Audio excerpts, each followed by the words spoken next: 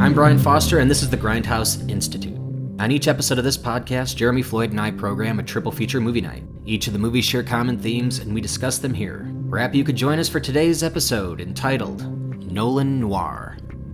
Before venturing into deep space, infiltrating dreams, or creating Academy Awards sweeping spectacles, Christopher Nolan, alongside his cinematic collaborator and life partner Emma Thomas, burst onto the scene crafting captivating films firmly rooted in the film noir genre.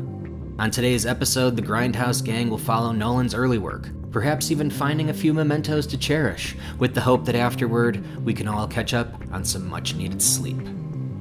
A lonely author discovers a remedy for his writer's block by trailing strangers across the streets of London. What begins as an innocent curiosity soon transforms into a descent into the depths of the criminal underworld. After all, you know what curiosity did to the cat. Jeremy Theobald, Alex Haw, Lucy Russell, and John Nolan star in Christopher Nolan's Following from 1998. A man's quest to avenge his wife is hobbled by a rare condition that causes him to have no short term memory. I told you this already, haven't I? Along the way, he will be introduced and reintroduced to a rogue's gallery of friends and foes. But who can he trust? Can he even trust himself? And who the hell is Sammy Jankis? Guy Pearce, Joe Pantoliano, and Carrie-Anne Moss star in Christopher Nolan's Memento from 2000. A veteran detective from Los Angeles is summoned to a small Alaskan town where the sun never sets. He's in town to help catch a young girl's killer. When he confronts the suspect, the two men form an unexpected bond, setting the stage for a psychological game of chess. But it's just so hard to play when he hasn't slept in a week. Al Pacino, Robin Williams, Hilary Swank, and Maura Tierney try to get some shut eye in Christopher Nolan's 2002 film, Insomnia. Thank you for listening to the Grindhouse Institute. Please enjoy.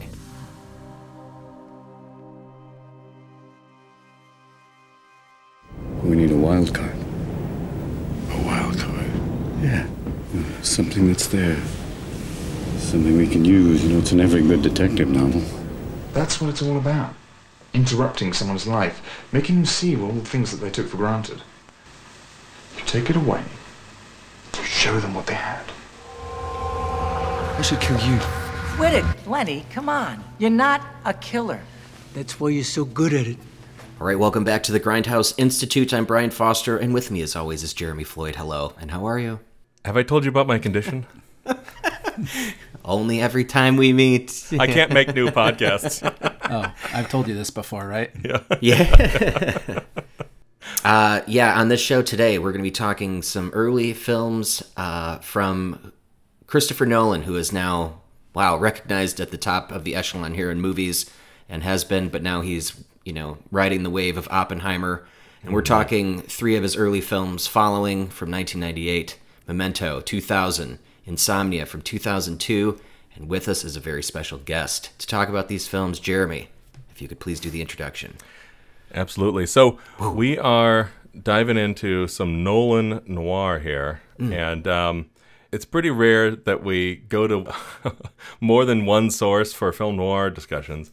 But um, this one felt like uh, we needed to change it up a little bit. And uh, you know, I know that these three movies in particular were in a sort of uh, canon uh, with this guest here, and you know, it's something he likes to reference all the time. And um, I thought, uh, who better than to have back friend of the show, Andy Buigues. Thanks, guys. Great to be here. Very excited. Very excited to uh, talk about these three uh, fantastic films. Yeah, welcome It's back. good to have you back and great to talk about these films. Let's get it going. Sounds Andy, good. Yeah, yeah. was this your choice or was this a Jeremy thing or did we was this more of a just you needed to jump on and we needed to talk Nolan for any sp- particular reason?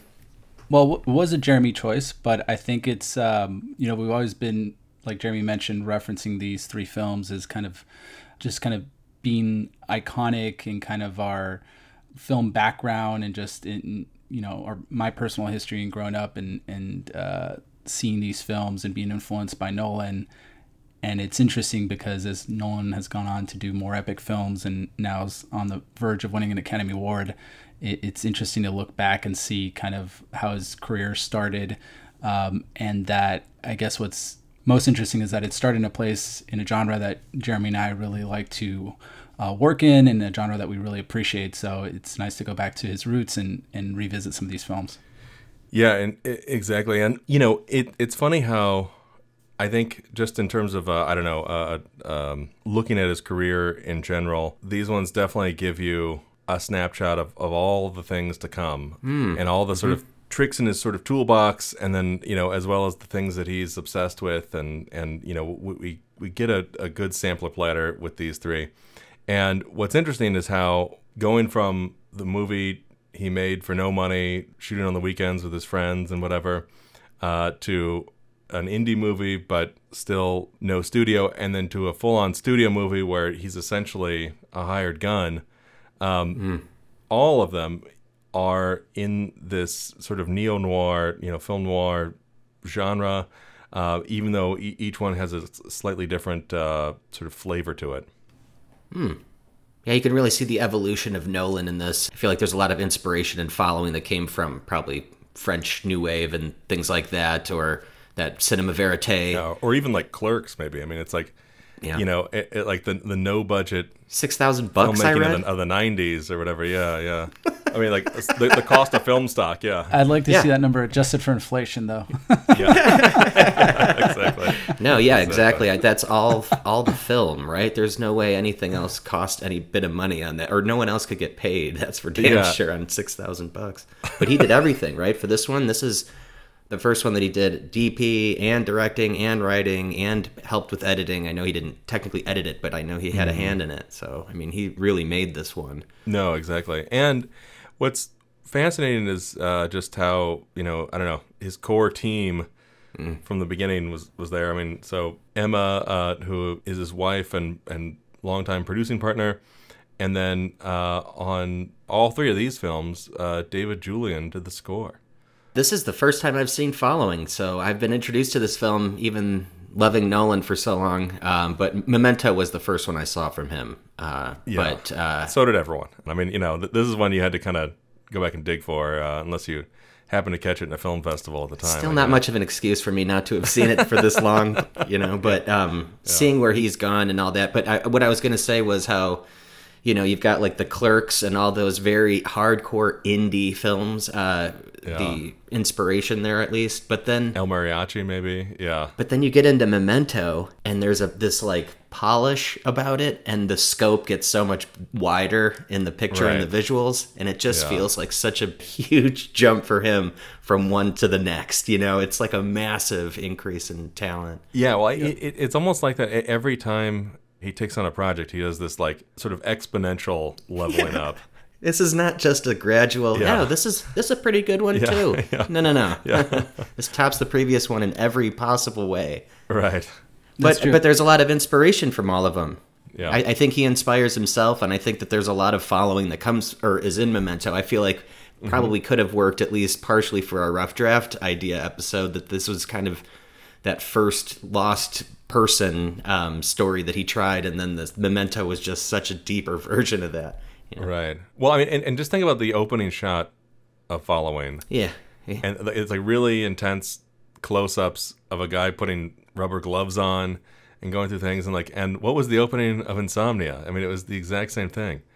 And what was the opening of Memento? It's also, you know, someone Oh, yeah. leaving or cleaning up or modifying a crime scene, right? Yeah, that's true. It's tr- That's true. So it, it is interesting that he kind of begins all the films from the point of transgression, and then it's all Mm-hmm. about either the events that have led up to it or the Mm-hmm. unraveling as a result of them, right? Memento's kind of both of those, right? Memento goes forward to back and kind of wraps it all around. Really well well crafted. But I think we should stick with following for a bit. Um, Glossed over that one. This this movie, um, it, it, it's got such a, a really gritty feel to it, not just for the filming alone, but the, the performances and everything. Uh, this is why um, seeing stuff like this or seeing images of this film back in the, when I saw Memento and hadn't seen this film but knew what it was and the internet was coming out and all that, and I started getting familiar with it and I found out that Nolan was going to do Batman. I'm like, awesome! Are we going to get like a black and white noir Batman finally? Like, Oh, yeah. you know, like an old school one where Batman's Batmobile is like some slick ass old car, maybe even a, a, a Rolls, and it's just like you know what I mean, like almost Yeah. a detect the real detective thing that If every version of Batman has missed. Every one of them. Like Yeah. Um, Except for maybe the cartoon. The cartoon was great. No, I'm sorry. I meant yeah. the the film, the the films. You know, but I guess this last one was Yeah. closest. But this is that was what I was kind of hoping. We didn't get that, and I still like his Batman trilogy. But I would have loved a a black and white four by three Batman or something. You know what I mean? Just Right. gritty. You know, More but straight up noir version. noir, dark. Yeah. Yeah. Yeah. Well, and and how fantastic was it to mm. see a Christopher Nolan movie coming in at mm-hmm. 70 minutes? Mm. I know. It, it can be done. It can be done. Yeah, but it balloons up real quick when we get to Memento. you know? yeah, it was it was pretty refreshing to start with a you know a little uh, short film there before we get into the the real features. Just give him six thousand dollars every time, and we could get a seventy-minute, real Yeah. tight noir from him. yeah, Go back to his roots. yeah, exactly. There's no going back after fucking Oppenheimer.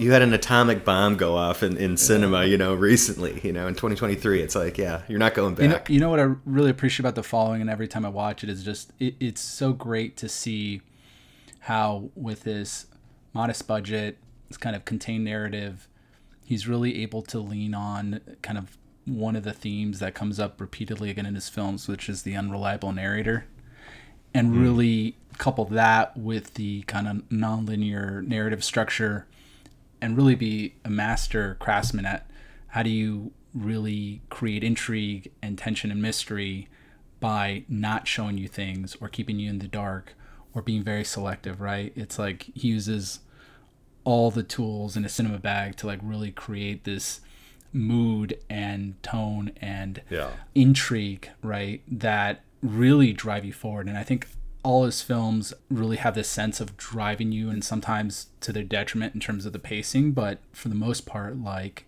even the following where if you really think about it, not much is happening. It's relatively Not at all, yeah. contained, but this idea that you know because you have him being interrogated by the detective and things don't seem well because you're watching it and you notice that wow now I'm watching scenes with him with his hair cropped short and bruised up like what didn't I see what things am I missing right and I think he takes it to the next level with Memento which is like okay we know the effect that that causes in you as a viewer we're going to lean into it and make that actually part of the narrative right Because it worked for Seinfeld, right? FDR wants me to drop dead.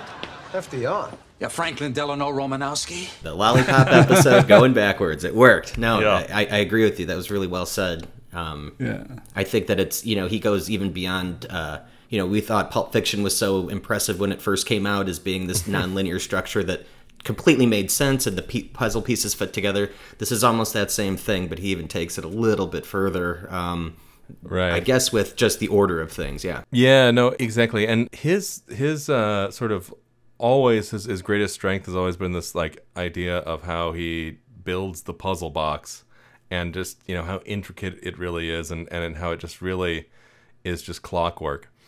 Um, but but it it's it's interesting. So like you know this is a film noir. You know we've got a lot of the film noir uh, tropes in it. It's, you know it's, it's black and white.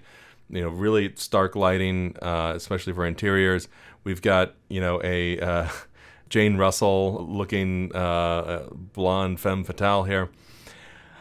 Um, but what's interesting is like as the movie starts, you know, it sort of peppers these different subgenres in, and it don't quite know what the actual subgenre is until you get to the very end, which is that like you know it f- starts off it's like this '90s sort of Gen Xer like self discovery. You know, who am I? What what what am I doing here? I like to follow people. I don't.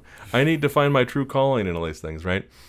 And knowing nothing about it, you'd think, oh, is this going to go in almost a Wong Kar Wai, you know, like a, a Chungking Express direction, uh, because of the sort of poetic way he's talking about his sort of uh, very bizarre, but, but but also like you know lonely uh, philosophy that he has, where he's you know uh, this lonely person in a sea of people, right? Um, then it sort of like turns into this thing where like, oh, is it a it's like a robbery thing, oh, or like a heist movie almost, and like, and then it becomes about uh, we're, we're gonna we're gonna save the girl, but no, it, as it turns out, the entire time it was just a con man, A long uh, con, yeah. long con movie by right by the character whose name is Cobb, which is interesting. Cobb, It was interesting, a yeah. recycled uh, name for uh, the main character in Inception, right? The Leonardo DiCaprio Right. character.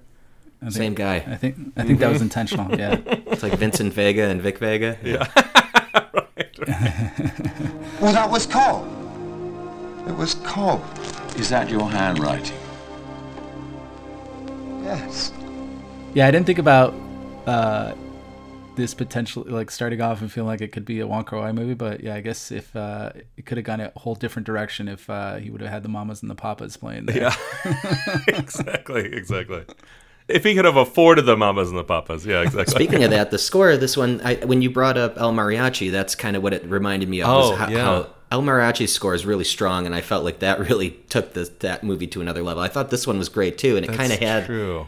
Early, or it had like Hans Zimmer vibes to it, that like driving synthy, well, bassy. Th- that opening cue in um, following is similar to like I don't know one of the cues in El Mariachi when he's you know is first getting chased or whatever, and it's like that, and it's like kind Exactly. synthy sounding. Yeah. Yeah, and you could really see that he's leaning on the resources he has available, which is the score, to really give the film a different dimension, and something that I think really he continues to do in the rest of his career, right? yeah, like, for Um, sure. If you think about like the score in Interstellar or Inception, Those are the scores that are in the car. yeah, yeah, They're amazing. exactly. And that's one of the things that I, I really appreciated, right? Especially it's it's the same thing you really appreciate about mariachi is just that when you have such limited resources, you have to be very intentional. And from what I was reading, like they did a lot of rehearsing. You know, they didn't have a lot of takes. Not a lot of film. Exactly. It's one of the um, great artistic byproducts of having to shoot in film, right? Which is that, mm-hmm. like, you mm-hmm. know, you really have to be intentional. You really have to work with the goal that you get in the moment. And it just creates something else because you're kind of forced to work within those constraints, right? Mm. Yeah, I, I, I love how so you know he he shot this thing. It was like on a it was 16 millimeter. It was like a wind up Bolex. Uh, apparently, the way it was done, because you know it, it's so little money or whatever it was, they got the film sort of telecined to tape, cut it on tape, took it to festivals, and when they were there, they're like, "Hey, anybody uh, want to Really? chip in some money to take this online and and and actually you know cut the negative and all that?" And uh, and and you know sort of got it put together that way. So they fir- initially released it in festivals on tape. Yeah, yeah, Oh, interesting. I didn't know that. Holy shit! Is that real? Yeah. Really? yeah. Wow. I bet it would look good on tape. And and and what's fascinating is okay, so at the time, so this is you know ninety eight or whatever, and a- a- at the time, um, you know the the sort of sixteen by nine TV wasn't uh, a- a- Standard. a- as much of a thing yet. Yeah. You know, so the early releases of this on you know DVD and whatever, it would be full frame essentially. Yeah. Because it was it was shot uh, you know one through three. Right. And and it's funny because even that is something that has kind of carried throughout uh, the rest of his career, starting with The Dark Knight, because the full frame IMAX format is one four three, which is very similar to the uh, framing size of, the Academy frame that he had on uh, on Following. Square. More more square. More, more or yeah. less, yeah, closer, closer to square. And he uh, has also continued his uh, obsession with black and white. But w- w- what's fascinating about this is like you know I love all the little um, pieces in this and how he makes it feel like there's all the sort of um, the scope of it is by choice by opening up the world or whatever you know going out and stealing shots of them you know walking through the streets of London or whatever Because that's how he did it, right? I mean, it, it feels that way at least. Yeah, yeah, no, totally. Uh, They were all just stolen. The you know, interiors obviously were, you know, a little bit more composed and rehearsed Right. and all that. But like they were like you know friends and families, houses and stuff. Yeah, Andy said it. There's nothing really happening, at least for the first third of this movie. There's really nothing happening, but it's just got a good feel to it. He's just walking. yeah, yeah, exactly. I didn't really know what all this was about until this other guy arrived, who apparently owed them some money. They held him down and they smashed every single one of his fingers, and then they smashed his skull. Someone get me a tea towel or something. So, w- one last uh, fun little bit of trivia on uh, on following here. Um, so the main like uh, club owner and you know main gangster that they kept referring to as the bald guy, even Bald though he had hair, uh, was uh, was was played by a real life bartender and bar manager, and this guy was actually very sort of key in the sort of late 90s early 2000s in bringing the cocktails sort of back to prominence Really? and in cocktail circles he's he's kind of a, a big name that rings out in the streets his name is dick bradsell and the thing that he's probably most famous for is uh, inventing the espresso martini so there you go Wow. Damn, That's I love the espresso martini. Big fan. And so how did he Yeah. how did he end up in the film? And here we are in a bar called Detroit, Seven Dials. Um, Jerry, in his capacity as producer, one of the things that he did very effectively was to find locations. And this was a fantastic location that he found. He knew Dick, who was the manager of the bar, who, when we came down in there for the first time to sort of scout it out, was there kind of going over the accounts with one of the people who worked for him and all the rest. And Jerry and I both decided after a few drinks that Dick would be ideal to actually play the manager of the bar.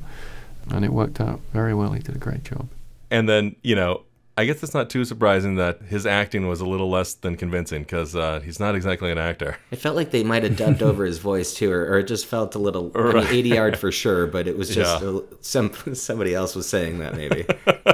maybe Yeah. maybe I know what you're talking about. so there you go there's Yeah. a, a fun little Yeah. trivia That's interesting. So that brings in the Distinguished Spirits channel that we should Yeah. probably. plug. there you go You know, Yeah. in thinking of the following too, it's um what what is actually really great and sticks with you. You know, even though the the scope of the film, like we said, if you think about it from a Nolan perspective, is you know probably the smallest of his entire career. You see the introduction of uh, what ends up being kind of a theme throughout all of his films, which is this character or these protagonists that are constantly both in a struggle to understand and get a grasp of their own reality, but also trying to affect the world around them. Right. So in this one, in- the the protagonist in the following, you have this character who's like struggling to kind of find his path and figure out where he fits within this world, and then after he kind of finds a direction, he ends up trying to act upon his instincts and the kind of relationships that he has, and then at some point, uh, kind of becomes consumed by it and kind of falls victim to it. You know, in Memento, we see that again with a character in a constant struggle. You know, uh, trying to understand just the reality that's going on around him, and I think that continues in Insomnia, and you see it a lot in a lot of the the other films where either it's characters trying to get a literal grasp around the you know reality around them or just struggling to to affect these surroundings that are kind of getting away from them right? Like in inception or, or in Tenet really. Um you know maybe maybe Oppenheimer's a little bit of the outlier there although there is a hint at the beginning of that movie of him struggling with that internal conflict a little bit even though that kind of right disappears from for quite a bit of the film. Yeah. um, but it's just really great to see how the inception of those themes and characters in his films. Yeah, exactly. I mean, that that's a good way to put it because it's um, it's funny how uh, just how present some of these things are in some of his earlier work like this. And also, you could feel how he's playing around with this idea that what I show you and it, the meaning you get out of it is heavily dictated by when I show it to you, right? And this this idea that you know he seems to play with time a lot, and time seems to be an important theme in all his films. And there's always this either characters fighting up against time, whether it's like a ticking clock, or it's just the way as a filmmaker that he uses time in the sense of both pacing and just the way he reveals information, right? Like for example, in this film, you see his busted up face and following Right, right, cropped yeah. hair a lot earlier than it makes any sense, right? And you don't know what to make of Yeah. it. Or for example, I think it's a very early shot where you see somebody grabbing a single pearl earring and I Right. forget he's placing it somewhere. And it's funny that pearl earring seems pretty innocuous when you first see it, uh, or even appealing, but think about the meaning it has later on, where um, you know the character uses it to really seal the fate of the protagonist, right? So that is something that you really feel him experimenting with in this film, and then really take that and refining that over the next few films. Right, I'd call it refining for sure in Memento. It's like polishing Yeah. to a nice Yeah. smooth surface. a sharp blade. Yeah. And, and and you see that a, a uh, further exploration of the idea that the Cobb character talked about, where it's like you know you got to Mm. take something away for someone to appreciate it, and uh, That's my favorite line in the movie. how how well does that describe uh, Leonard's uh, you know goals and you know uh, the way he he's structured his life? in a way, the Cobb character is kind of voicing the approach of the filmmaker, right? It's like you Mm. take these little pieces away and you create a whole different visual experience, right? You could still the set of earrings and it means one thing, right? You just robbed, but you take one away and now it could be misplaced, Right. Right? Or you drop an undergarment in someone's pocket and it means a whole different thing than if you go ahead and just steal that from their dresser drawer, right? So it's really great because it seems to be like something, an idea, concept, an artistic approach that really appeals to Nolan. And he uses it to maximum ability and to maximum effect. And you could see here him experimenting with that, which is really great. Absolutely. Hi. Right, what can I do for you, Leonard? I have this condition. It's my memory. Since my injury, I can't make new memories. Look, I hope my condition is not going to be a problem for you. No, not as long as you uh, remember to pay the bill. Now, did, did everyone here see this one in the theater when it first came out? Yeah. And I also feel like I'm particularly fond of this movie because I feel like it's one of having seen this very early on in my film development. It's just, it was one of those where you started to see, like, wow, like what you could do with just a really brilliant concept and executing it correctly. And it just made you ask more of independent films, right? Um, Yeah. I think when you're watching Yeah. it. And it was, so this came out in 99. 2000. Well, it went to Venice in 2000, but no one really saw it till 2001. So Okay. it, it, it wide you- release you- 2001. You feel like it was still riding that wave of that just fantastic period in film in the late 90s, um, you know, cresting in 99, that just had all these innovative, kind of relatively or independently made, uh, tour driven, relatively low budget films that just had really creative concepts and, you know, like a being John Malkovich or um, one of those great films of the late 90s. The Limey. that- the limey yeah it's just and if you think about it even you know relatively speaking the scale of memento is not that big you know i mean it was what was it f- somewhere between five and ten million dollars i mean it's not that many locations it's just a really great concept the scale of which um, seems a lot bigger just because of the craftsmanship that went into it i mean Mhm. you know Right. we're, i'm sure we're going to get to this in detail but even as you analyze the structure of the film and, and the way it's structured just opening it on a shot literally played in reverse, right? Which later comes back. We just recently watched Tenet, and uh, Oh, right. now you could see where he got that idea, right? It's like um, a lot of the film is structured in reverse, but the there's one shot which is the open shot that's literally played in reverse. And I just remember being in theaters there, uh, being blown away by this idea of seeing like you know seeing the Polaroid develop in reverse, and then the the bullet kind of being sucked back into the the gun and you're like, whoa, what am I in for here, right? Yeah. or like, you know, he reaches his hand out, the gun, you know, like, whoop, flies into his hand, and then, you know, shoots. Yeah, it, it was wild. And there was And- no and the- complicated explanation for what we were, wh- why we were seeing that. So There was I not. really, I really appreciate just, it. Just go with it. don't don't even think about it. Don't try to understand it. Feel it. Yeah. Um. No. Exactly. And it's it's funny you mentioned the tenet thing too, because I, I I remember thinking like you know You remember thinking classic temporal pincer movement? the structure of this movie is a classic temporal pincer movement, exactly. Um, but uh, you know, Andy and I uh, watched it recently in, in IMAX, and then uh, Tenet, that is, and then you know we were talking about afterwards, and like the the whole uh, let's just pick up bullets off the ground by having it you know, magnetize, you know, jump into our hand type of thing. Like I, I kept waiting for that to sort of pay off with somebody doing that with a gun or whatever, uh, and it, it never did. And then we watch uh, the opening of Memento again, and they did it right in that opening scene.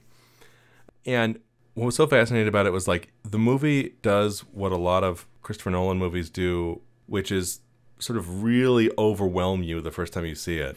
You know, you don't you don't know what to make of any of it. You know, it's like you, you watch him kill Joey Pants in the very beginning, but then you, you don't know what any of that means, or did that really happen, Did or like even happen? Where in time is this happening? Yeah. You know, and it's like you know you, you you keep going back and forth between seeing these moments over and over again, and we see him kill him twice essentially. But because you're so you know uh, unmoored uh, from all all your expectations of what it's supposed to, th- this type of storytelling is supposed to be, um, you don't know what to make of it, and you're, so you're you're kind of like on edge of like, will we find out whether he kills Joey Pants or not? You know what I mean? It's, it's kind of it's kind of this weird. Uh, How? Why? Like all Yeah, those yeah. questions start popping up. Yeah. Talk about starting with a bang, right? I mean, Oh, you yeah. literally get the murder, and it's kind of figuring out how we got to this point. Um, but most of the time, you're watching yourself going towards that point, so it isn't interesting, right? Although I would argue that I guess if you'd seen it for the first time, there's not a lot of grounding telling you that you're working towards it, but eventually that starts to reveal itself.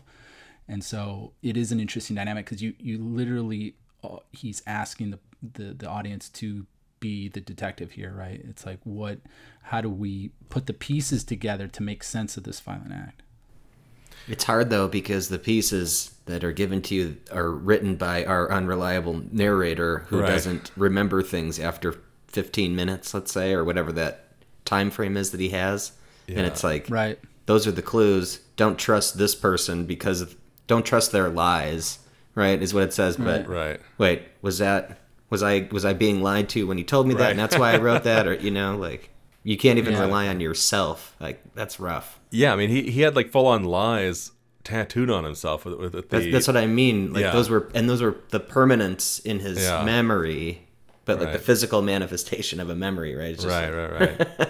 Why is it backwards? So I can fucking see it in a mirror, you know? Like, red rum.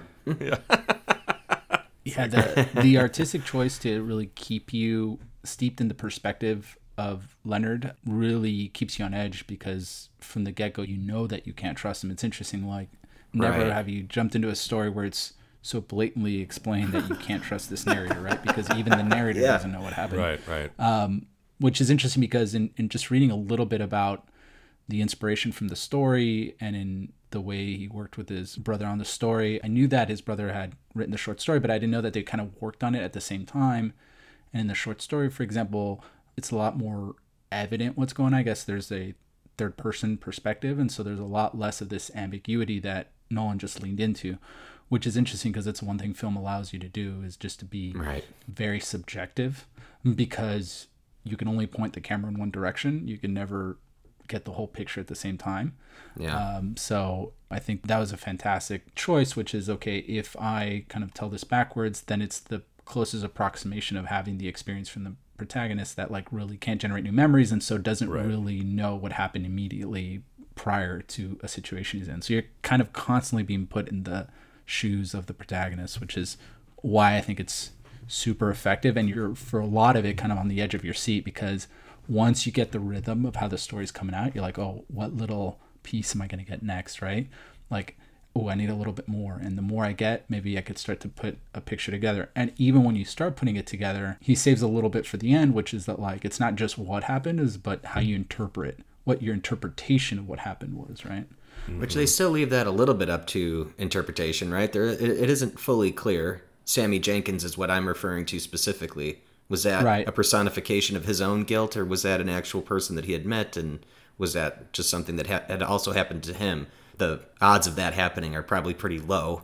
um, so it is probably that personification idea that Sammy Jenkins tried to distance himself from that guilt, right? So he created this other person, Stephen Tobolowsky, Right, who goes to see right. Jo- who goes to see uh, Yeah. Lennon. Uh, what's Yeah. Thomas Tom Lennon. Lennon. yeah, Thomas Lennon.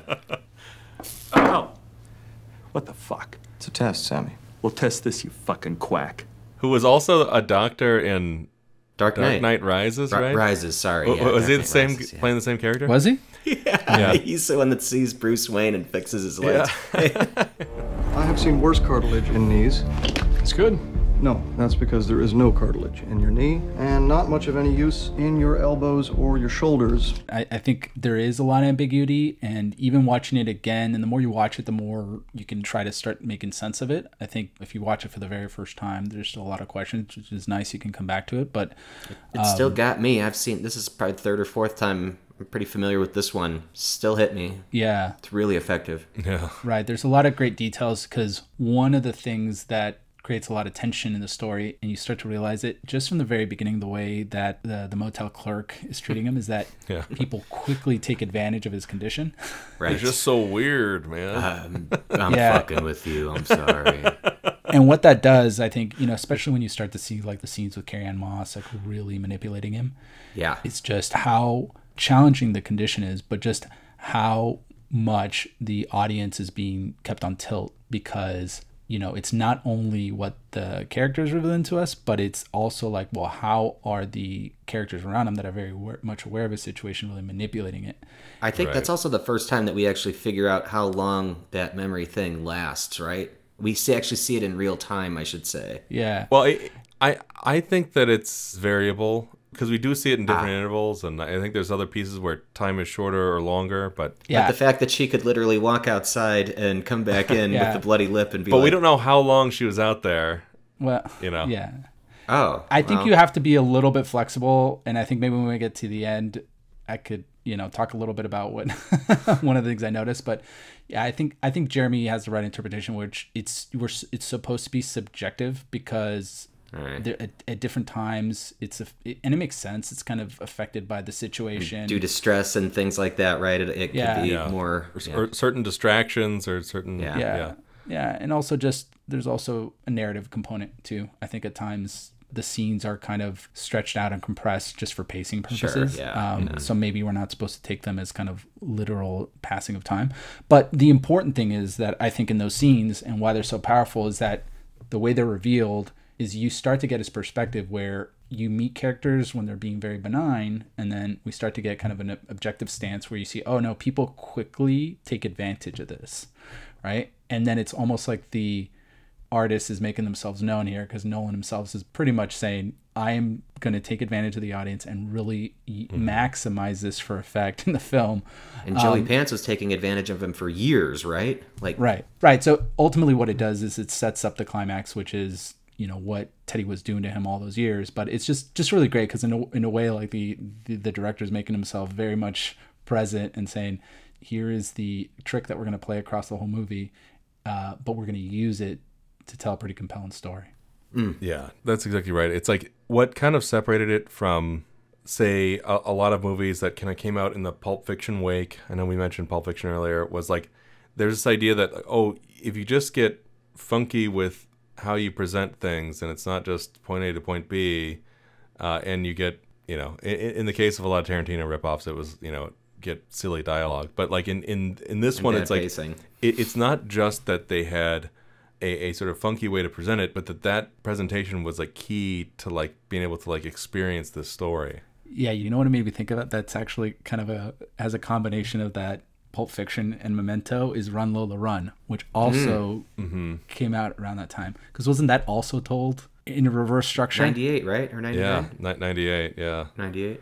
Well, no, it was like the same day three times or whatever, and it was like, you know. It was like three different versions of what happened. No, but every right? time we saw it, we kept seeing more of it, right? Well, no, we kept seeing. So we- we'd see that where she gets the call, she runs out and tries one path, it doesn't work. You know, Oh, gets the call, tries one path, it doesn't doesn't work, and tries another path. It's like a video game. yeah, yeah, Okay. exactly. She lear- learns how to play the game much better. She has three lives. But it was like you said, this time in film where people were playing like, how can I manipulate the presentation of these events, right? Like, how can I take Yeah. a different narrative structure than just the standard pointing to point B, and really use it to heighten the quality of the story, right? Right, and and and, and there were a lot of great examples of that time. I mean, you know, um, like you said, um, The Limey, yeah. R- Run Lola Run, The Limey. I mean, e- even in a certain way, uh, Blair Witch Project. It's like th- there's a bunch of movies that played with how we uh, see and experience things that you know the studio system previously would have you know kind of rounded off all those uh, possibilities and like you know sh- cut them short and like no no no no we're gonna tell this you know the right way or whatever right Right. Think about traffic and think about the non-traditional editing style that that has. exactly It felt like an anthology, though, right? I mean, it, it, it did kind of fall within that Yeah, I mean, traditional it- anthology. I mean, that's what I'm saying. Yeah, because it it's um it's a little uh, almost um, Robert Altman, a, a little bit of the Pulp Fiction, you know, convergence thing, But um, in this one, like the movie doesn't quite work without the sort of you know uh, differently ordered non chronological structure. In fact, I think on the DVD, I, I don't think it still exists on the Blu-rays and whatever, but on the DVD, there was a way to watch Memento chronologically uh, where How it boring, starts right? off in the black and white, goes to the part where like you know he shakes the thing and and you know we, we change to color, and then you know get to the end with Joey Pants. But like yeah, exactly. It, it just like as a, like a you know I don't know what like a, a film studies like oh that's interesting to see if you put it that way. Yeah. Like What not to do. What, what how it doesn't work. Right. But if you do you do it the the the funky way it was put together, it it does work. Um, but it's one of those things where the form definitely uh, you know serves the function. You know, and it's funny. I, I forgot to mention this at the end of following. You know, we get into one of Christopher Nolan's very very favorite things to do, which is while Danny Lloyd or slash the young man uh, is talking to the the cop you know, we're kind of seeing other stories that, that are, that are sort of happening as as he's talking his way into the sort of end of the movie, which is that like, you know, we're sort of cross cutting this action where it's like, you know, oh, I, I went to go do this. Well, check with her, and like, you know, yeah, we did, and you know, then we see the, what what happened to her without seeing it. Very film noir there. I know, I love that. I love the juxtaposition of what you're being told versus what you see, Yeah. and just Nolan really just luxuriates in that, right? Yeah. It's interesting to think that maybe coming up in that time, there's a big emphasis on that, right? It's like you said, the Limey was a big one for that. There's just this element that, like, as a director, what you can bring to a scene that's written is what you choose to show, right? And how do you take that and really uh, create something else? It's kind of like the idea of take something away, showing, showing what you have is like you take an element away or you add something or you show something in a different light and it gives something a completely different meaning, right? Hmm. Exactly. It could also be the like the ending of the conversation. Yeah. right. Exactly. Which is interesting because the whole movie gauges on how interpreting a line Yeah. differently. Right. He'd kill Yeah. us if he had the chance. He'd Kill us if he got the chance. Yeah, that's yeah, yeah it's a great one. Yeah. Kill us Um, if you had the chance.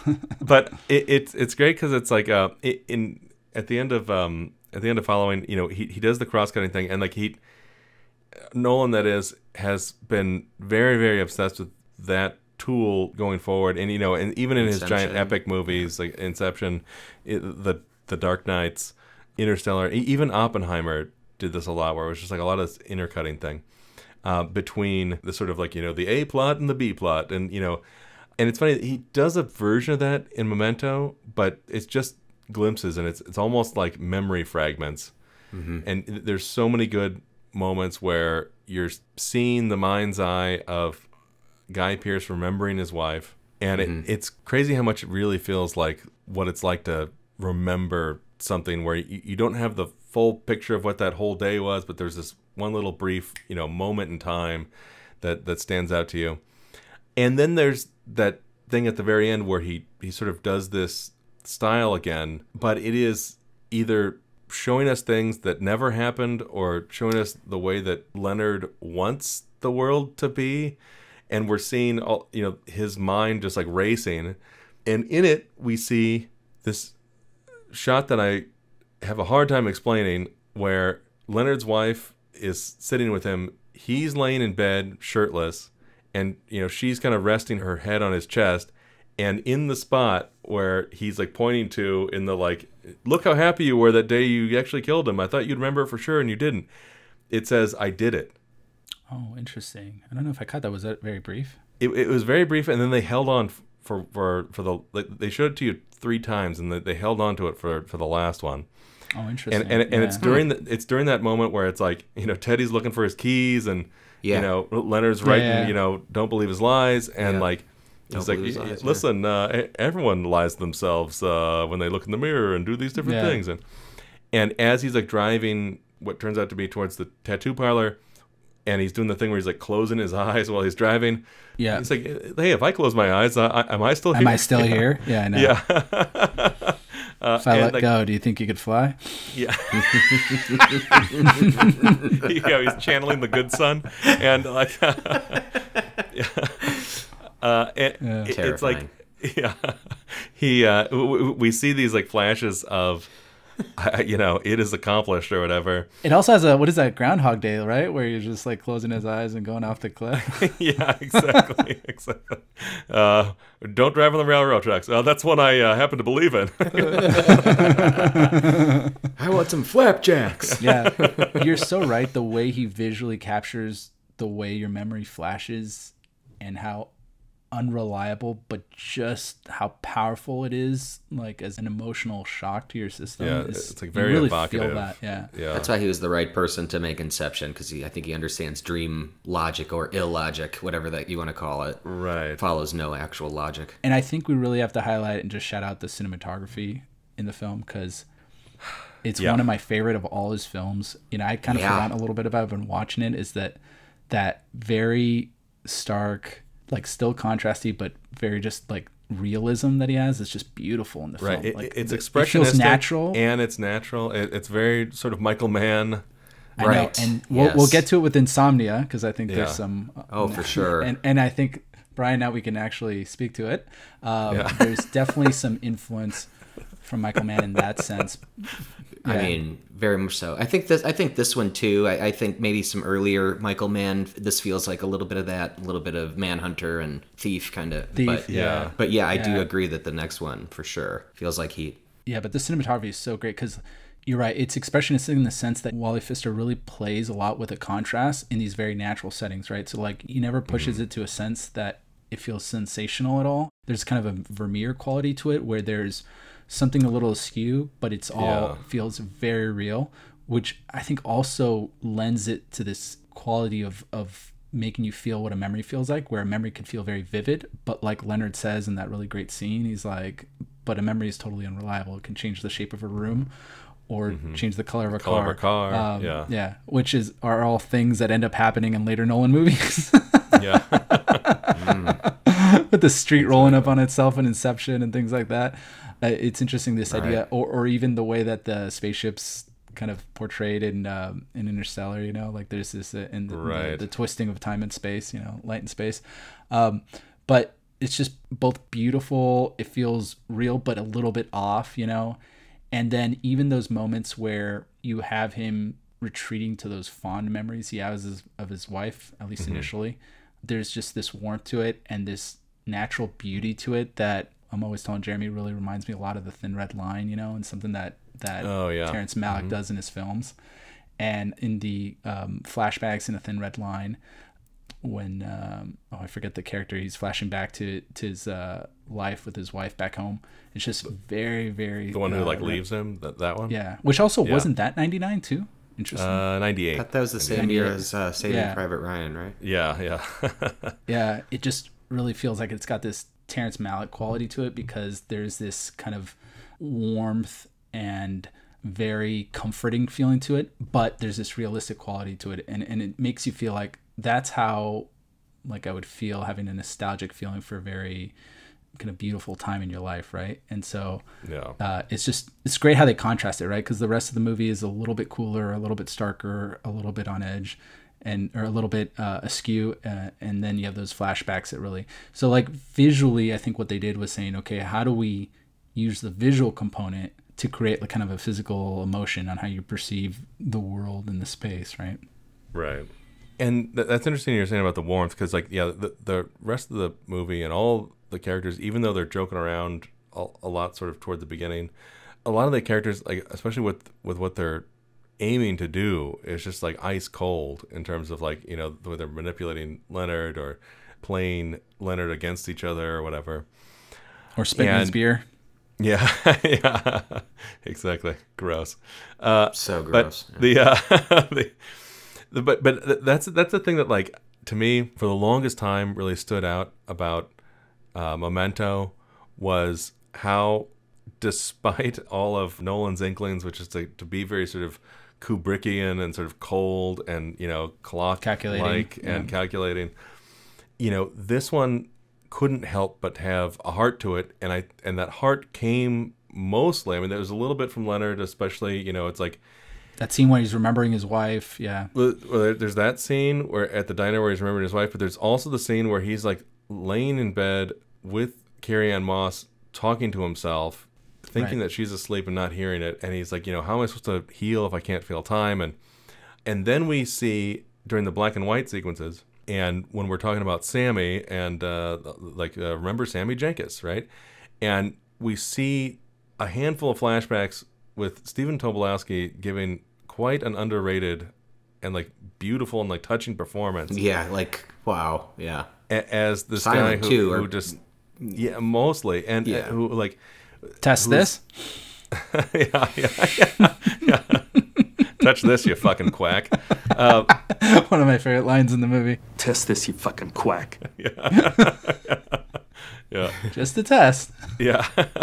but but but then you know there's there's that later part where he's like you know his, his wife is getting really frustrated and like you know he's like write it down. He's like "Ah, what did I do? What did I do? And like you know he's like kind of crying and like and then the part where you know she gives him the final exam and Uh. you know he's like time for my time for my shot. He's like oh great and like you know and then at the very end of that wh- when you know she's going into you know uh, the, the, The coma. the coma or whatever from the from having too much insulin you know his sort of childlike response to like it's like just like not knowing what the hell is happening and, and Yeah. just you know he's completely down, lost yeah. and you know he's breaking down you know like, Helplessness. That that's the, the, yeah, the- exactly the helplessness of yeah. it is like the sort of the heart of the movie and like sammy jenkins like holds that and to me what we get out of the end of the movie confession scene where leonard kills jimmy takes jimmy downstairs to the uh, basement from evil dead and then comes back up and, and changes into his clothes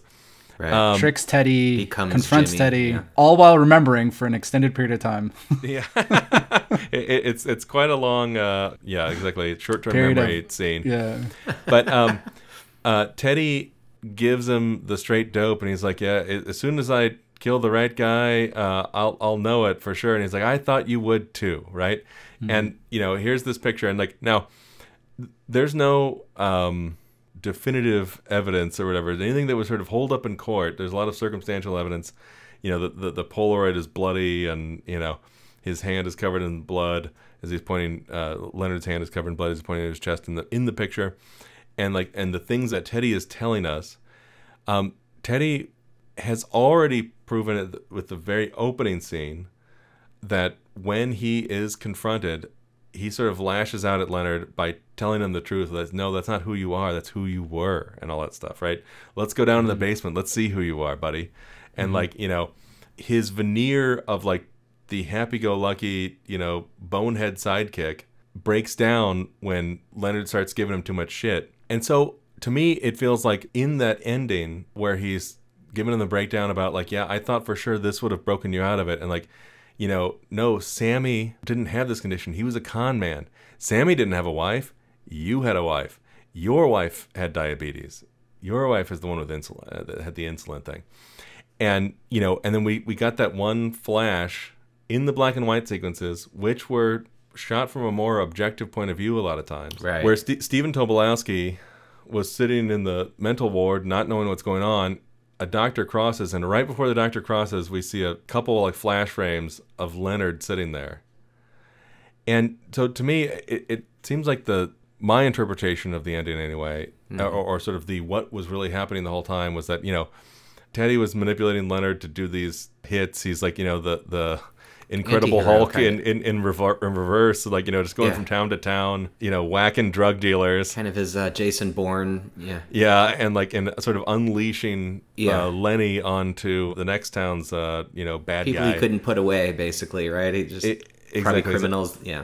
Yeah, so so like so so Teddy, you know, uh, left his life behind, even though he still has his badge, and like you know, then takes takes Lenny out on on a little mission every once in a while. Yeah, exactly. Leonard sort of wants himself to be manipulated, which is why he destroys his own file. And he's like, "That Mhm. file was complete when I gave it to you. Who threw those pages away, buddy?" And you know, we're we're constantly seeing Leonard burning stuff and and trying to like do as he says in the black and white scenes, where it's like you know, through repetition, you can you can sort of condition yourself, condition yourself, condition yourself. And as he explains, you know, I'm gonna give myself purpose and and chase another John G. Well, you're a John G. Why don't I chase you? And then he gets the uh, license plate tattooed on his thigh. But in that that interpretation, Sammy Jenkins, as we see portrayed by Stephen Tobolowsky, is Leonard. Mhm. And like the the things that were sort of happening to Sammy with his actual condition, which you know may or may not have uh, had his insurance claim denied, even though he worked for the company, um, were sort of like scenes that we are seeing of Guy Pearce's sort of humanity, and and we- see like just keyhole glimpses of that, you know, in certain scenes, like the the, the Carrie Ann Moss scene where, where she's supposed to be asleep and he's talking to himself, and or where his like mind is like rejecting the like you know we see Leonard's wife go ow as he you know hits her with insulin and he's like no that's not what happened. He like blinks and it goes back and he like pinches her thigh or whatever. Yeah. So you lie to yourself to be happy. There's nothing wrong with that. We all do it. Who cares if there's a few little details you'd rather not remember? Yeah, there's also a nice parallel there because the kind of reactions and the forced recognition that Sammy Jenkins has in the flashbacks, you see Guy Pearce, you see Leonard do that when he's engaging people uh, that he doesn't recognize, right? right? So there's this similarity. Yeah, it's interesting. I, I I love that shot of him sitting down there in the hospital, and then you see the nurse pass by, and it quickly flashes a shot of Leonard there. I think that that's also a reference to the short story because I think the short story actually takes place with Leonard in a mental institution trying to figure out how to get out. Mm. Um, so it's interesting to see that now that you think about it, you're like, oh yeah, who knows? Maybe at some point Leonard was, you know, submitted to the hospital, and who knows? Maybe Teddy got him out. You know, so it's it, it's interesting to see. I mean, what's interesting is that you could also take Teddy's story at face value. It does kind of have a similar impact, which is Right. he felt sorry for him. His relationship with his wife broke down because as a result of the attack, the effect Mhm. on his memory, she couldn't live with it. And then Teddy really potentially did help him find someone that he thought could take the place of the assailants and helped him kill him. And then he just to see if it would help, and it didn't. And so now he's kind of formed this relationship that he's taking advantage of. You know, I mean, it's possible that this is the first time he's taking advantage of it, but it is interesting because, you know, not likely. I don't think so because it I don't think it could be a little bit of the Fuches dynamic in Barry, right? That's Where exactly that- how I. Yeah, yeah, I was gonna bring that up. It reminded me Yeah. of yeah, Fuches. It's such a right. No, it- great it- comparison. Exactly right. And and, Stephen and it's Root. Yeah. yeah. So I mean, he's acting like Oh his God. his uncle. yeah. Yeah, yeah, yeah, yeah. Well, and, and and what's great is like then you know like Barry, uh, you know, was able to develop guilt in the show Barry. Uh, in this one, uh, you know, Leonard really wasn't wasn't able to. But it's there, right? He just can't remember. It it seems like it's it, the guilt is there, at least the Yeah. physical part of it, but he doesn't know Yeah. really what it means or why it's there. He can't remember. But, but but it is fascinating how much of a deadly weapon Leonard is. You know, wh- when he's yeah. like sort of wound up, he you know he kicks He's Don's Jason. I thought he was ass like yeah. Jason Bourne. He's Yeah. just like this, Yeah. like Do- It's like Finding Dory and Jason Bourne put together. You know.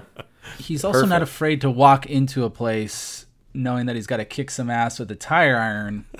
not afraid of, you know, am I going up against someone with a gun here or He's really honest about his condition every time too. Like before he beats someone's ass, like you know, I got some, Yeah, I got this, this condition. It, it's interesting because one of the things I noticed this time, which ties in something I mentioned earlier, is that it is unlike the rest of the scenes, his ability to stay in the moment and be cognizant of everything going on in the climax is extended. Now, I think, I think you have to leverage Jeremy's interpretation of it, which is that for that period of time he was just very cognizant. But you know, you have the climax, you have him killing uh, Jimmy, dragging him down, tricking Teddy, bringing him back up, accusing him of setting him up, and then getting the real story, then going out and then deciding to continue his his uh, pursuit by misleading himself and and just grabbing a random fact. But another way that that could make sense that I thought was kind of interesting is he says that part of what's challenging about the condition is that you come to or you you uh, find yourself in a situation you don't recognize and you have these Mhm. feelings and you don't know why right you did Right. something you feel guilty and you don't know why it's kind of like when you wake up from a dream and something bad happened in your dream or you did something you shouldn't in your dream and you're right, like right. wait a It happened to minute me did that happen? recently. Yeah, yeah. and it it's felt terrible.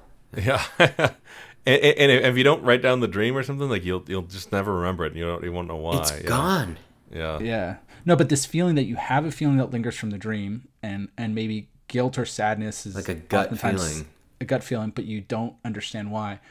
And I was telling Jamie one interpretation of why the end he's able to kind of keep it together for such an extended period of time is maybe he he is forgetting where he's at, but he has this feeling he just did something guilty like killing Jimmy. And so he goes up and perhaps his reaction of being confronted with the truth, and this is something he kind of retreats to, is when he's confronted with the truth, it's so difficult and his inability to cope because Yeah, he completely can't rejecting it, yeah. he can't move beyond it. Right, he's kind of stuck in the same memory. Uh, his his way of coping is I'm just going to find a new clue because he knows if he has a clue, then it'll give him purpose, it'll give him drive, and so perhaps as he's moving from killing Jimmy to back up and and confronting Teddy and then stepping outside and throwing the keys out in the car at each one of those steps he's maybe kind of forgetting what happened before but has that feeling that something incredibly impactful just happened to me. And his reaction is okay i'm going to tear up some of the notes in the report or i'm going to just find a license plate and just cling on to it right? And so that's how he keeps it going because kind of what we've shown in the movie and you alluded to this brian is that especially like intense situations his memory seems to go pretty quickly. I mean he literally jumps the fence at one point and he forgets immediately why someone's chasing him right? And we see that. But i Yeah, think right. i think if he's if that memory lingers or that feeling lingers i think what we learn and, and i think you have the sense of what the real tragedy is that his coping mechanism has to be to kind of keep his story going keep keep this pursuit going because it's the only thing that could potentially give him comfort if he's literally stuck in the moment What else has he got? yeah he's literally from a cognitive perspective you're constantly you know rewinding back to this very traumatic point in your life and you can't build new memories that could help ease that pain right Yeah, he, he he he always starts from the same save point in the game. Uh, Yeah. and it's just a terrible Every place to retreat Yeah. to yeah Yeah. right.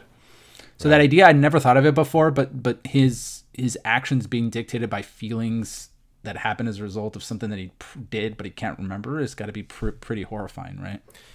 No, absolutely. Um, yeah, and it's it's um, it's one of those things where you know you imagine, okay, so he he was able to do this movie for you know a couple million dollars, uh, it with independent financing or whatever, didn't have any distribution lined up, and apparently was having trouble getting it distributed.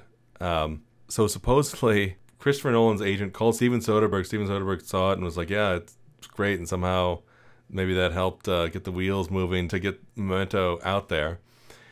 And then the same guy called Soderbergh months later when this exec at Warner Brothers, you know, won't take a, a meeting with Chris, and Chris really wants to do this movie. They're remaking Insomnia, and apparently Soderbergh called up the exec and was like, you know, why don't you want to do it? And he's like, well, well, I, I didn't like Memento or whatever. He's like, yeah, but you know, you saw it was good filmmaking, right? I mean, can't you just take the meeting and then, you know, you, you guys can work with him and whatever. And apparently that got Nolan in the door to get that meeting with Warner Brothers to get his first sort of you know studio picture going.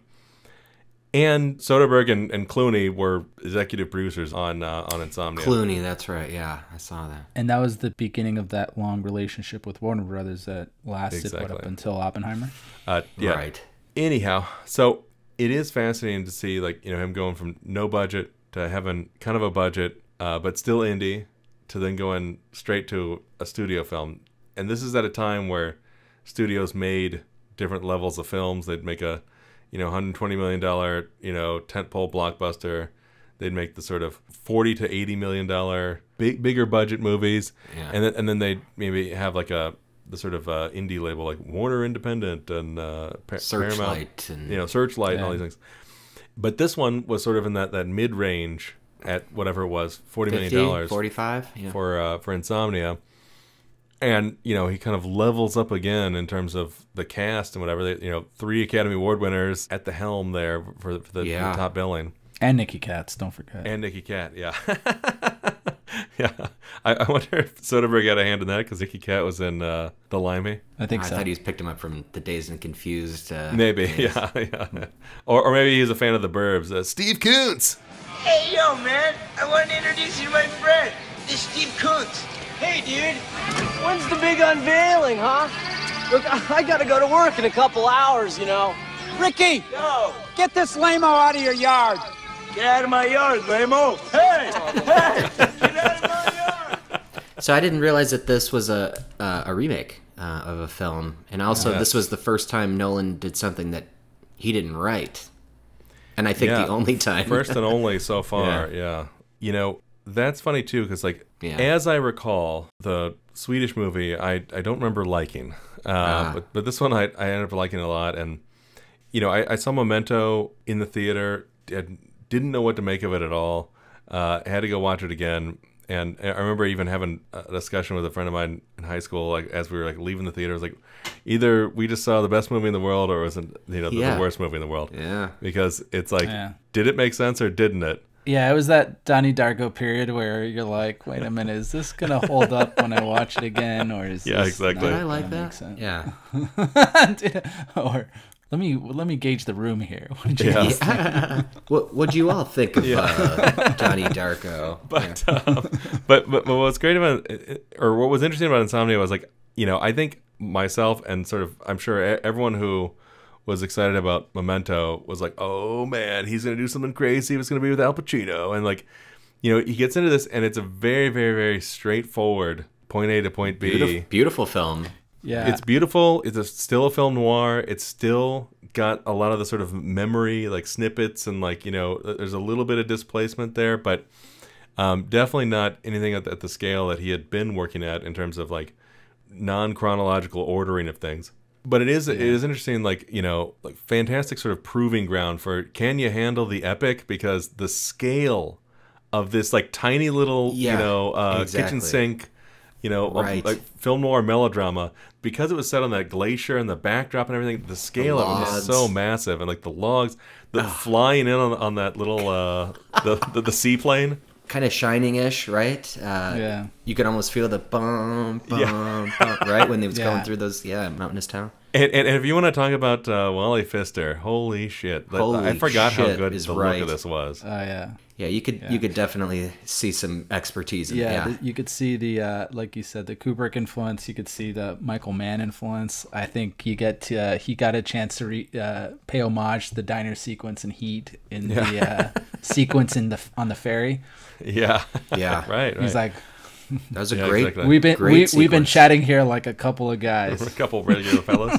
Yeah, It, was, it, it really it really brought a little bit of a tear to my eye to see uh, Robin Yeah. Williams again. I haven't seen him um, acting in a while. Well, it was cool because we recently watched One Hour Photo, and I think it was around the same time of him Yeah. really. Mm-hmm. uh, I remember that playing one. against his character there, and this was. playing against type. I yeah. just this is fantastic role, right? I mean, there's there's hardly any humor in this by him at, at all. No, I mean, I I love that scene where because you know I always remember the ferry scene, right? And that's just such course. a great scene. Wild card. yeah. Yeah, You're about as uh, you're you're about as mysterious to me as a block toilet is to a plumber. I love that line. But I love that scene later on where you know I kind of forget a little bit. It's a noir and it's a detective story, but there isn't a lot of detective solving. Right? I forgot how early you find out about Robin Williams and how early he finds out about Robin Williams, and that's where the tension is.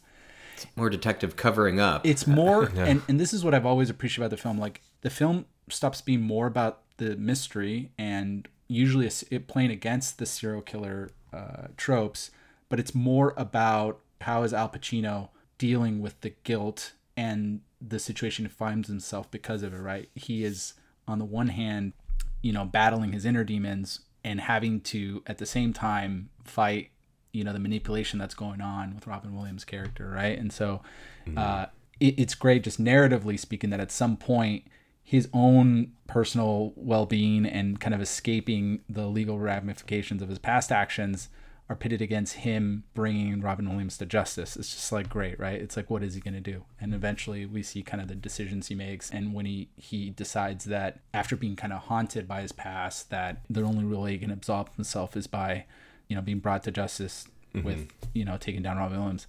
Um, but I love that scene where Robin Williams gets on the phone and is constantly calling him, and you know you kind of understand that he has no choice but to engage him, but you get that scene when Robin Williams like explains how the murder happened, and it's just it's interesting Right. just how it unfolds, right? Like you know. Not to quote Heat again, but they're sitting there talking like regular guys, and then all of a sudden Robin Williams goes on this tangent where you see where he's Have you ever been crossing that- humiliated, Will? Yeah, where he crosses. yeah, it's got a little bit of, of Manhunter too, right? Um, you ever seen Blood in the Moonlight? Well, yeah, I mean, he Robin Williams is just so fucking good. I mean, he, he's like the perfect creep.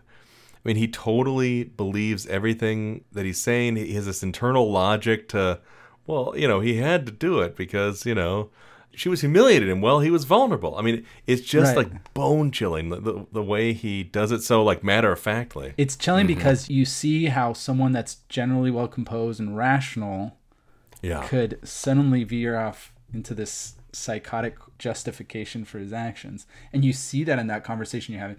Meanwhile, you know, Al Pacino's struggling to stay awake and figure out how to handle it. And I just I love how the scene ends and he's like, Yeah, so uh, how was it for you killing your partner? and he just hangs up the phone. he's like, Okay, I told you, now you tell me. And he's like, oh, I'm done with this. Yeah, exactly.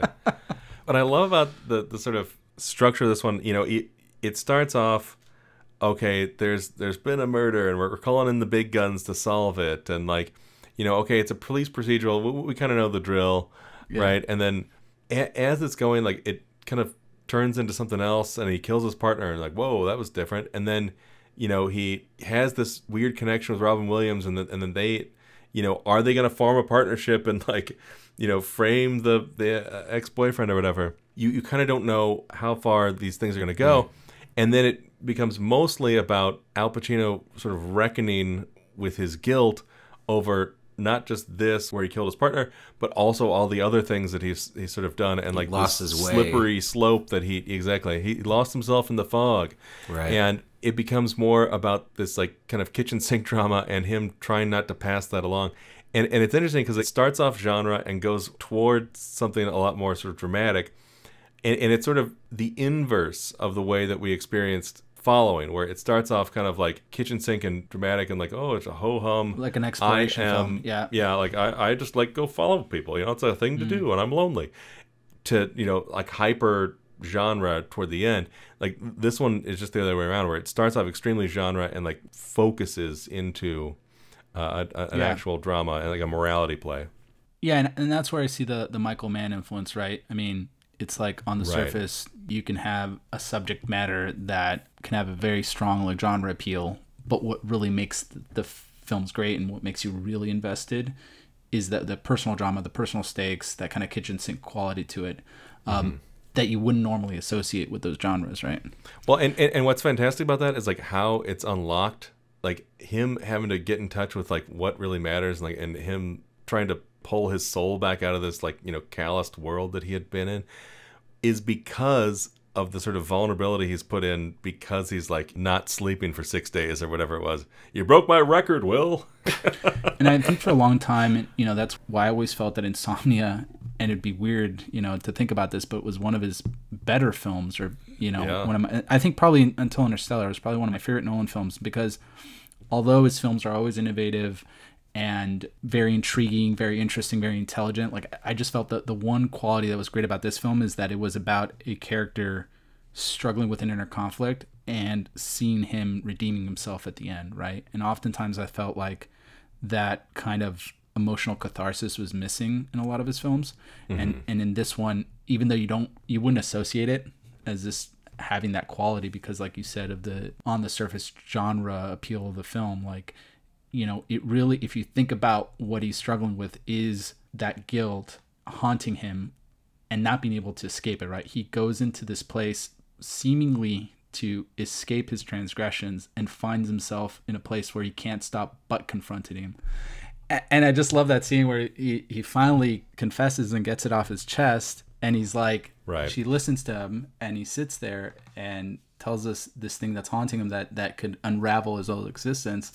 And she's being non judgmental at all, you know, and that's the interesting part, right? Like, Was this the Maura Tierney conversation? Yeah. this is the moral quandary that you find yourself in. Like you, you did this illegal act for a good intention, and you can't reconcile that. But he can't expect us to provide that redemption for him. It has to come from him, and it, it's very subtle, but it's just such a great part to include in the film, which is that like although Hilary Swank in a way is angry to have been deceived by him, sees his valor and his sacrifice at the end, and is willing to to keep that a secret, not stain his reputation. Yeah, uh, exactly. for his sacrifice, but he says He doesn't he let turns her. down the he turns down the gesture because it goes back to a line at the beginning of the film, which is once you cross that line, The slippery there's no slope, go- right? There's no it's a slippery slope. There's no going Yeah. back. You And lose your way, the- yeah. And to me, that's the other parallel with Heat, which is there's this idea that even though you wouldn't think of it, you take a detective who spends his whole career, as he says, taking down guys like Robin Williams, and you take Robin Williams, they both crossed this transgressive line. Mhm. Didn't even blink. Didn't even blink, and kind of defined themselves in a certain way.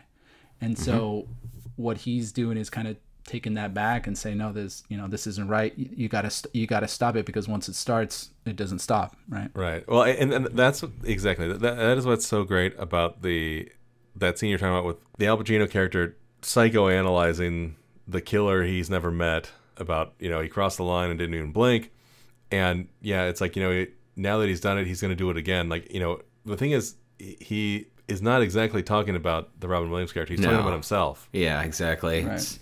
I thought that was pretty clear, but it was really well written. Uh, right exactly and, and really you you end up seeing that because him pulling out his drop piece and Yeah. putting himself in a situation where he may or may not have shot his partner intentionally was him doubling back on that line right he did it once by soiling the undergarments of the serial killer and helping expedite that prosecution and now he's done it again by covering his tracks right and i love that robin williams really prays on that and Yeah. and and highlights something that I, I always wonder if it's even legally accurate, which is that like just because he's found guilty of tampering evidence in one case, that every person he's ever helped convict would go free. I, Like- I'm sure it's not. Yeah, um, but, but but but it is funny how like Robin Williams is almost like the uh, Joker-fied uh, Sammy Jankis. It's like this uh, aspect of the Al Pacino's. Yeah, I thought he wasn't you know- real for a while. I- Um, yeah, yeah. It, it, it kind of plays that way. Which I thought all these movies had that. I, I thought uh, Joe Pants wasn't real at one point when I first Yeah. saw Memento, and I didn't Cobb. think that um, Cobb was real. and I- yeah.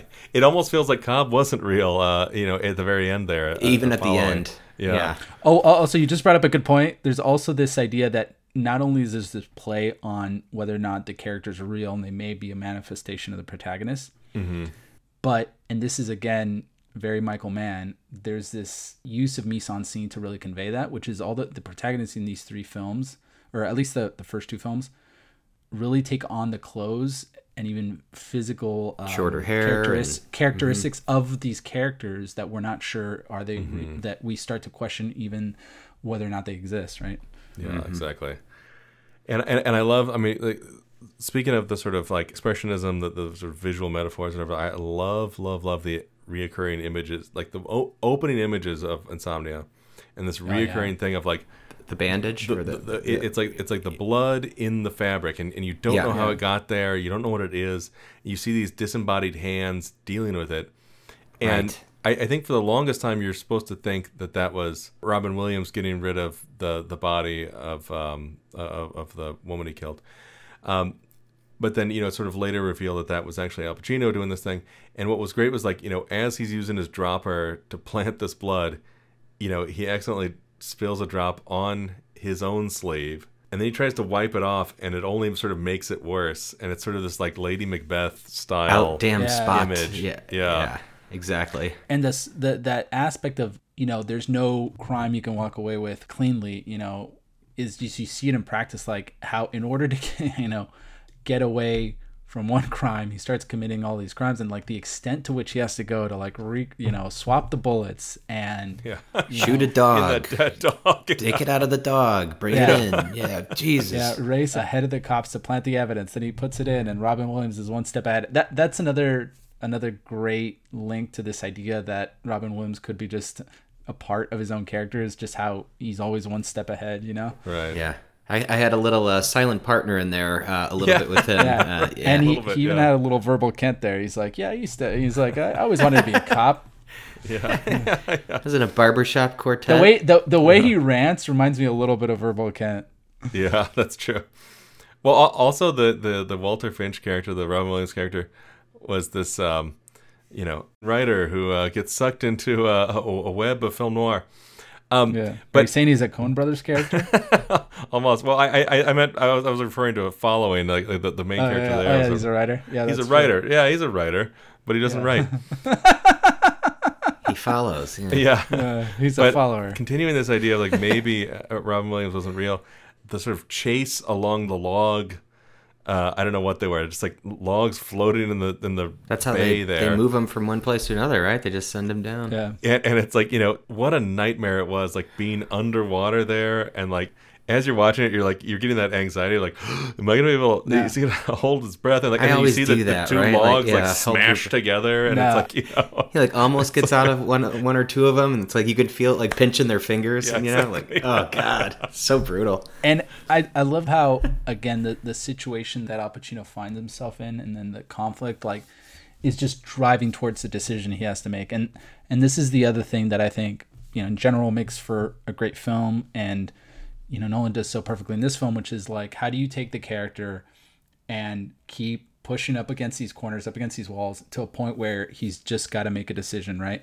And, and in doing so, the character has like a very satisfying arc, which is I love how Robin Williams is like looking forward to coming in for the interview, and he's like, Yeah. him. he's like, whatever like you so- do, yeah. Getting whatever prepped. you do, Yeah. do not bring up the boyfriend. Let them come to it. It's like the first fucking thing. And he shows up. He's like, I don't know. You should really look at the boyfriend. Oh man, that part, it was great. Your boyfriend, Randy, abusive little prick. He hit her. We know all this already, Finch. No, but it was getting worse. Why all this eagerness to talk about Randy Stetz, Finch? Oh, you're right. I'm sorry, Detective. You- That's probably all hearsay anyway, and I, I don't want to say anything that could be taken the wrong way. A- as like a, a career thing, it was interesting looking at Insomnia. Now, I, I, I know it's sort of um, his least lauded film and like doesn't get the same love that some of his other movies do. I thought it was great. I, I mean, I, Yeah. I really like it. I, I think it's I think it's really up there. I, I think if anything, if I had a critique, I think the ending does come a little quick and things get a little truncated at the end. But Yeah. I thought it was satisfying, Yeah. and I thought it kind of Mm-hmm. turned Hilary Swank into kind of the new uh, protagonist by the end, and we see like the end of her uh, heroic journey because she was all about him. She was almost like his uh, protege, and she wanted Yeah. him to be this hero that she kind of built up in her own mind of this awesome LA cop, you know, coming to Alaska, this small town. But Right. you know, Yeah. she found out he was crooked, and that was kind of ruined it for her. But I, I thought Yeah. that that was a great ending. You know, Exactly, and, and and it's great how she gets disillusioned by the end there, and, and Yeah. has to sort of reckon with that. and she's so fucking good in everything. You know, yeah, He wasn't lying that way, How do you know? because I saw him. Are we almost done here? My nads are freezing off. while we're kind of talking about like other performances and stuff in here, like Robin Williams, as we said, was was great. Uh, Al Pacino, like somehow putting on his face what it feels like to be up for way way too long, and it was and that- painful at It times hurt. painful to to look see at, how exactly. sleep deprived he was. And I didn't even know how he d- like. And at first, it's funny because you don't see that coming. You know, he feels a little bit like he's got a little Vincent Hanna coming on. You know, he's always Yeah, going to be yeah. amped up and yeah. you know, Come um, on, yeah, yeah, yeah. Come on, Will, that's bullshit. Fuck you care. you know, always on the edge, right where he needs to be. It keeps me sharp, on the edge, where I gotta be. What's funny because like it's very Vincent Hanna. Like I love how he just shows up and it's like here are the 15 things you missed over here. You know. right. I mean, it's almost exactly the scene where he shows up, you know, questioning everybody uh, what they see from the crime scene. I love the cocky detective move. You know, they, they come in, they're just like, uh, and then uh, what about that uh, piece of paper on the floor? Which one? Exactly. You know, like Yeah. they, they saw the one thing that twelve other people didn't see. You know. right. It's like that's all in the report. But how the setting ends up weighing on him and imposing itself on him with the constant daylight is just such a great use of mise en scene. I Yeah. think they do it kind of the opposite effect in the latest season of True Detective because it's kind of you know all night. Nighttime. Oh, it's always yeah. dark. Oh, okay. Yeah, it's always dark, which is cool, but it just makes Alaska such a great setting. And I think it's just encapsulated perfectly by the woman that runs the hotel. And she, there's only two types of people Yeah. out there, you know, those that were born there and those that are running away from something, you know. And it's um, just I wasn't great- born She, here. she wasn't Yeah. born there. Yeah. yeah, Maura Tierney was really great. She had to leave uh, Jim Carrey from Liar Liar. Yeah. yeah. But yeah, no, I just, I just, it's so great to see, and, and I think the best film noirs, and again, going back to Thief, it's just like how you have the setting becoming a character, but not just a character, but becoming a force or an antagonist to the protagonist, right? Um, and it's like it's him fighting up against his own guilt, his conscientiousness, and his sense of justice. And ultimately, he has to choose between having this kid take the fall for it or really bringing everything to light. Yeah, and it's it's something where having Nolan take on like essentially like you know supposedly yes he, he he definitely wanted to make this movie and he was pushing for it but in some sense this is like kind of an audition film. Can you work within the studio system? Can you be trusted to make uh, something at a bigger scale? And it's fascinating that like on his sort of more uh, assignment style work you know he, he didn't have the being able to like do the puzzle box the same way and fall back on that as sort of a crutch you know he didn't get to write the screenplay you know it was, it was already written and like and it's a remake yeah, right. I- I- exactly and it's good too because it was like it, it didn't have the sort of like big twist ending the way his previous two films did. Very and, and i think and i think all, all these things were good for him in terms of like uh, having to flex those muscles having to like show he, he, he can uh, play well with others or whatever. Right. And then actually tell a story w- with this sort of like human core to it um, you know unlike maybe i don't know M. Night Shyamalan who like got just so well known for okay here comes the twist we're gonna have the twist and uh, and the audience gets Yeah. like bored by that. And him not being able to like do his usual bag of tricks was really really refreshing. And and on top of that he made it this really satisfying and interesting and like almost eye-popping movie uh, for, for such a contained thriller Some of those shots of the outside felt like IMAX almost. Yeah, when it did. It, Especially just when he's felt flying so in, yeah. large. Yeah, it Oh. was just beautiful scale. Well, that's what I, that's why I love this film. I, I think there is something that's really powerful about having a director maybe direct something that they don't write. I mean, you see it with um, Quentin Tarantino and Jackie Brown, probably my favorite Tarantino movie, and Yeah. and there's just this idea that like if you're writing it, it maybe comes out of you, and you know you're telling a story. But if you're directing something you didn't write, then you're interpreting it. And then there's this idea of taking, you know, a subject matter that you have to decide how how to show. In this case, you could have played it like a straight mystery. Instead, here you find out very early on who the serial killer is, and then the movie becomes something else, which is about Al Pacino's character and him coming to terms for his past transgressions, right? So yeah, this could have been seven, right?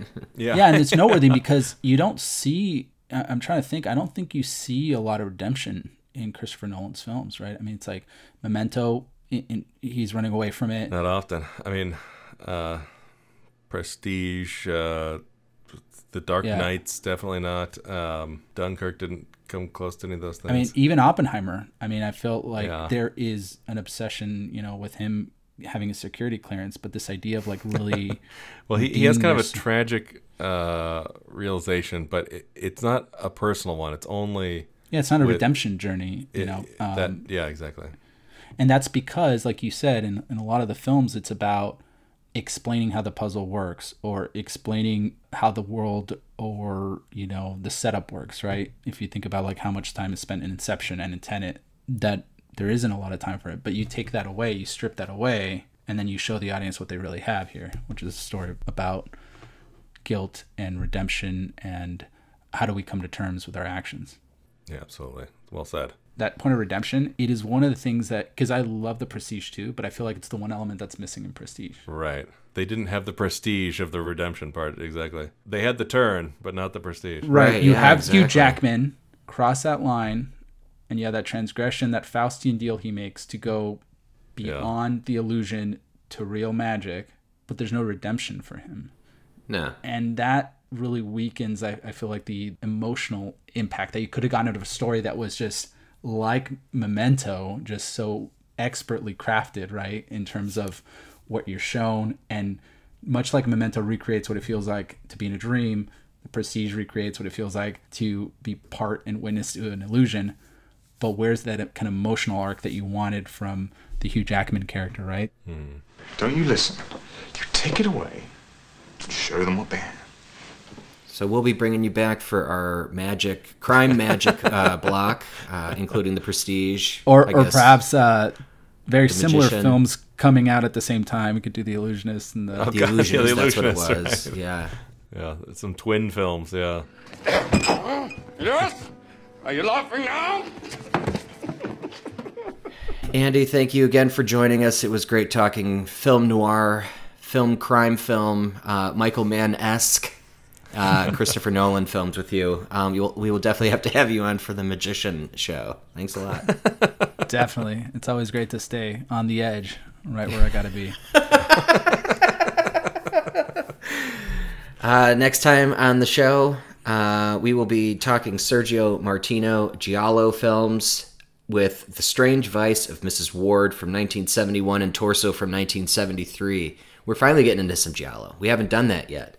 Finally, yeah. Well, well we've done some Canadian Gialli uh, with um, a Gialli with uh, Stone Cold Dead was kind of one, right? And then we I'd had, say the Silent Partner had had a bit Partner, of that too. Yeah. yeah. But it, it is uh, a very, very interesting subgenre. Is it horror? Is it film noir? Stay tuned and you'll find out. Are they booby slasher films? Pre 80s booby slasher films? They, yes. yes, they are. We, we, can check off all the boxes. All yeah, those check off every one of the yeah. boxes, actually. all right, that'll be a fun one. And uh, so we'll be back for some, uh, some slashers. Thank you so much for listening. Please make sure to subscribe and follow us on all the podcasts and social platforms of the Grindhouse Institute. And if you really want to give us a boost, check us out on Apple Podcasts and leave us a rating and review. It helps us to get noticed. Thanks so much, everybody. We'll be back next time. Ciao.